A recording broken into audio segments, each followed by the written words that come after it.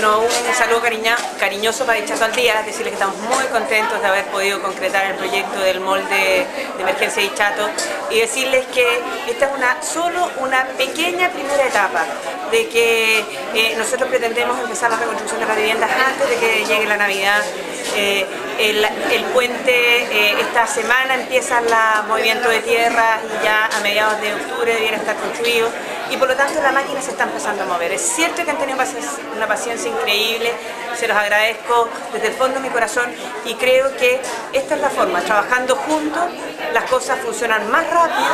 eh, que poniendo palos en la rueda. Así que un abrazo grande a todas las personas que nos están viendo. Muchas gracias,